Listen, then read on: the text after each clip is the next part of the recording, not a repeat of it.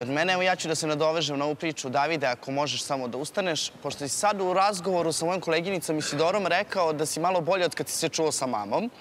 Pa Da. mene zanima da li si bolje zato što ti je mama rekla, sad citiraću, da preneseš Aleksandri da se ne drnda, da ti ne gunđa i da se smiri. Jel misliš da ti je to trebalo da čuješ da bi ti bio bolje? Ne, naravno da nije to. Ona je to rekla, ja sam rek, pitao sam naravno da li grešim, šta grešim, sve to.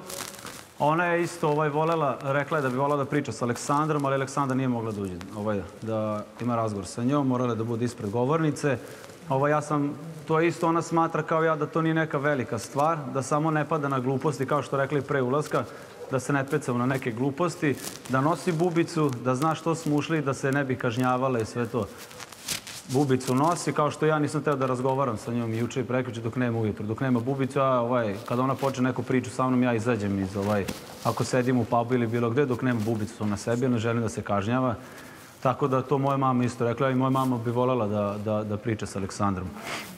Da je iskrene to isto što ja kažem, da tako je mišljenje moje mame. Zato što ona, ona jako voli Aleksandru i baš kao što sam malo pre rekao, milion puta stane i, i na njenu stranu i, i meni kaže baš i kad grešim sve to, tako da bi mi rekli sada u razgovoru isto, jer ona ne preze zna da se ne mogu čuti sa njom svaki dan, ona bi stvarno rekla šta i kako. Nema veze da li sam ja njen sin ili bilo šta, ona će uvek stati na, stranu ono koje je u. Aleksandra, da li ti misliš da ove stvari koje je navila Davidova mama kad ti ne bih radila da bi vama odnos bio bolji?